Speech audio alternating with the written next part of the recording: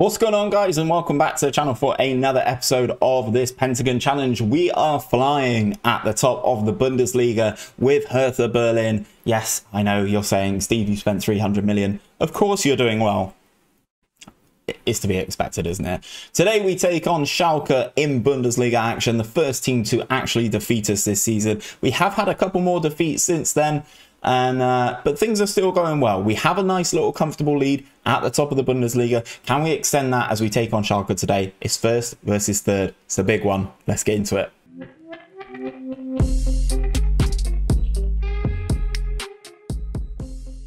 So then guys, you will ask with me for the loss to Bayern Munich away from home. We kind of learned a little bit of a lesson there about ourselves.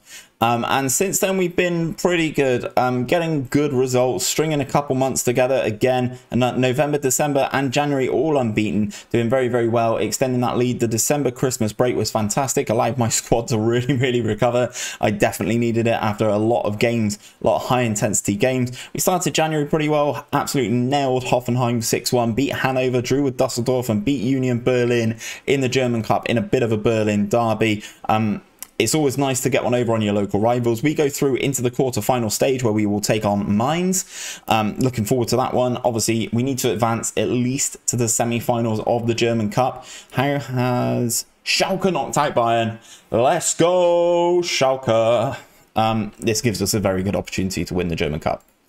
Um, as you can tell by my ecstatic result uh, response to that. Um, things have been going pretty well, as I mentioned. Uh, we don't have any European competitions to worry about this year, but it may get game heavy towards the end of the season with the with the differences between games actually becoming shorter and shorter as we move forward. I think the Dortmund one will be a good one, but we'll never know. We'll see what happens in terms of the cup. Um, Bundesliga. We are top after 21 games. We've won 17 of those. We've drawn one, and we have lost those three games that I did mention. Um, it's it's a very interesting situation. We're doing very well, actually. We're scoring a lot of goals. 52 goals scored. is the most in the league. Uh, 18 goals conceded as well. It's pretty good. Not the best in the league. Only two uh, two teams are better than us in terms of keeping the ball out of the back of the net, and that is Bayern Munich and RB Leipzig, who obviously did turn us down um, in the summer before we got the Hertha Berlin job. Uh, but things are going very well, as I said, at the top. We're currently seven points clear of Bayern Munich, but that could all change today with the game against Schalke. Um, another thing I need to touch on, Nils Bro is the bee's knees. This guy is absolutely exceptional. I cannot say how good he is. He's just a goal machine. He has 24 starts for us this season in all competitions, and he's got 27 goals and three assists. His average rating in all competitions is 7.53. He's just an absolute monster. 10 goals in 10 caps for Denmark. Just an absolute monster. Absolutely loving him at the top of the line. In terms of a little bit of a transfer update, not really much to talk to you about um, in terms of the transfers we have let a couple players go that were unhappy at the club. Um, Matthew Luton has gone to Dortmund for 28.5 mil. And we've let a couple others go out on loan and a couple others that are sold that you won't be able to see because they're kind of behind my head. We've kind of let them go. They were upset at the club. Um, we didn't want to have them just hanging around and just ruining our club dynamic. Um, so we let them go.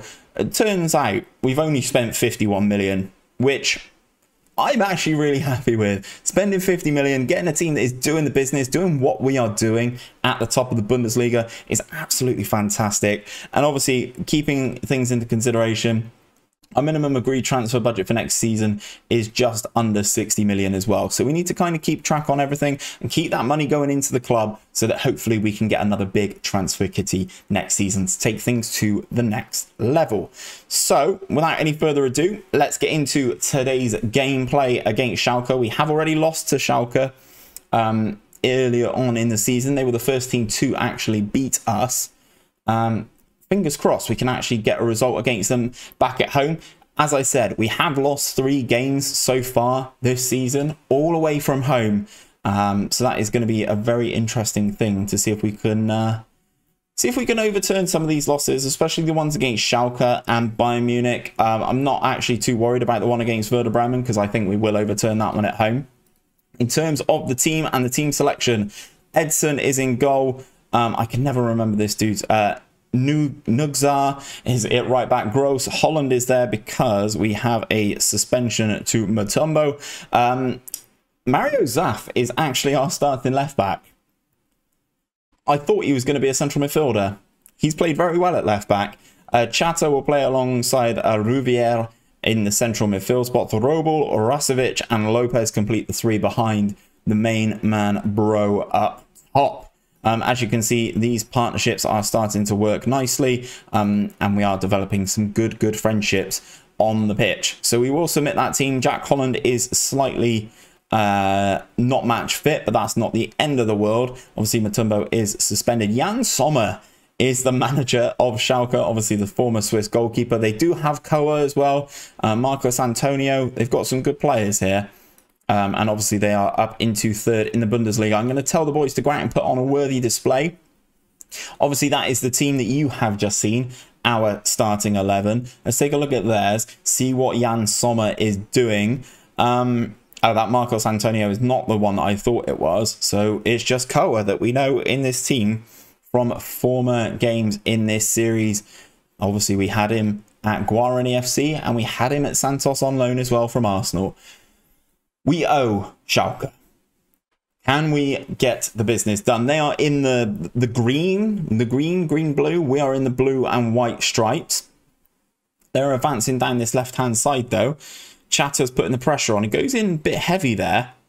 They've still and Schalke's still got the ball. The ball comes across. Oh, and Dada fires that one just wide of our goalkeeper's near post. I keep wanting to call our goalkeeper Edison. Edson. He's not Edison. Edison has probably retired now in this game, in this simulation. Um, but despite him being Brazilian, I think they're very, very similar. Um, Schalke actually coming and playing a very high line against us, which is interesting considering how good Bro is, especially on the counter with his pace. And this is what we're trying to do now. Gets the ball into him. He holds it up very nicely. He's got a lot of players to go round. Goes round one into the penalty area. Can he cross? He does. And that has gone into the Schalke goal. The goalkeeper, Gustavo Sanabria, has palmed that into his own goal. He, makes a lot of this himself, though. Goes past two players, goes past the left back as well, inside the penalty area, takes into a tight angle, and the goalkeeper's just done awful there, hasn't he? Pushing that one into his own goal. Chance for Schalke to immediately hit back, though. Antonio over the free kick into Koa. Can we tackle him? Out to Dada. They hit the post. Looks like he's blown for offside. Dada is offside. And we are in the lead without actually having a shot on target. Who'd have thought that, guys? Um, Zaf is looking like he's taken a knock. And Mario Zaf is a very key player for us, so we will make that change at left back. We will bring on Faith Sari to take that spot at left back.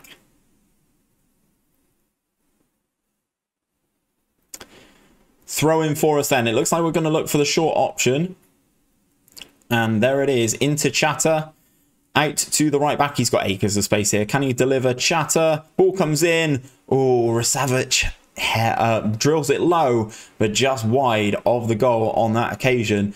We're getting slightly better. It feels like we're building into the game despite leading through that own goal.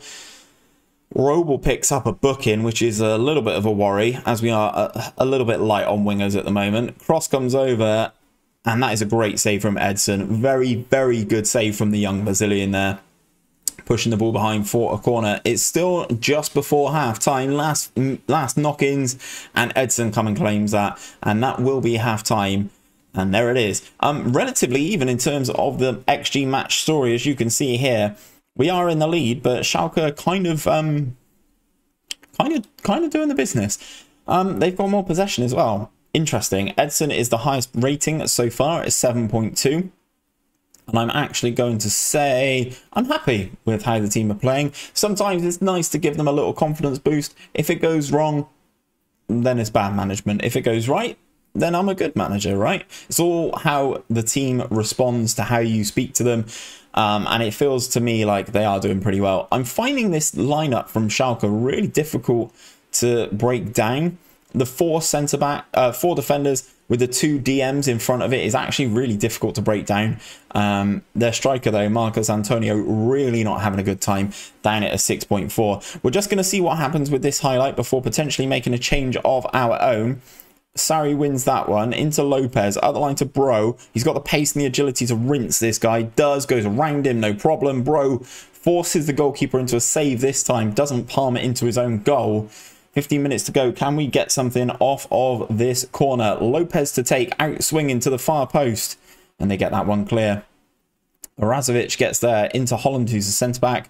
We control the possession, get the free kick. Lopez, delivery. Oh, bro, gets his head. His header even saved by the goalkeeper. The goalkeeper's kind of redeeming himself now. Lopez on the corner, right-footed in swinger towards that near post and they get the they get the ball clear. Fabio's going to be able to break here, is he? Yes, he is. Down the right hand side, takes it around our left back. He's still bursting down that side. We recover nicely though, and what a block that is. From a central midfielder to actually make that effort and get over there and do the business is absolutely fantastic. We'll make a sub at right back. As you can see, we are definitely growing into this game. We were the better team over the course of the 90 minutes, despite the goal coming as an own goal. I assume they're going to start pushing forward. Chatter into Bro then. Back to Chatter. Out to the right-hand side then. This guy's got loads of pace as well. Gets round one. Looks for the pass to Chatter. Gets his pass blocked. Very end-to-end -end this game. Molas. That's a good pass into Antonio. Into the other defender. Into the penalty area. Ah. This is why I should sometimes tighten things up. Um, Pitando uh, no, Pin, Pint, Pintado? Pintado with the equaliser there for Schalke. I thought this dude was going to be the one who scored it. Antonio with a great run. Our defender, Holland, who's not our starting choice defender, misses the challenge. It goes to 1-1. I'm not actually disappointed by it, but it looks like we got to have a chance in injury time here to maybe snatch something. Ball out to the right-hand side. Weisner is on instead of the Frenchman at right back. The cross comes over and Gordon Razovic, the man on loan from PSG, comes in 94th minute. The final whistle probably should have gone in all honesty, but we do not give up with this team. The dynamic is too strong. We get another win. Nice cross into the penalty area, gets across his man, beats the goalkeeper to it, rams it in at the near post.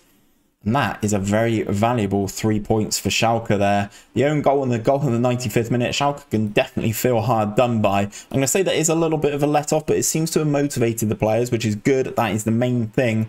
As things stand, Bayern Munich to play the day after 10 points behind after that amount of games. I think it's 22 for us. Yeah, 22 games for us. And Bayern Munich will play RB Leipzig. So second versus fourth in the game after um, the next day. So things are going very well, very, very well. So, in terms of the schedule and where I will bring you guys back, I think it's going to be for the game at home against Dortmund, obviously one of the powerhouses in Germany, despite not having a good season this year. We'll bring you back for the Dortmund game unless things get spicy in the cup and maybe we get a good team in the cup, and then I'll bring you back for the cup game instead. But that's where I'm going to leave things for today, guys. If you have enjoyed this episode of the Pentagon Challenge, please do leave a like on it down below. Subscribe to the channel if you are new around here. And ring that bell so you're told every time that we upload a video of this series. Until next time, guys, take care of yourselves, and I'll see you on another one very, very soon.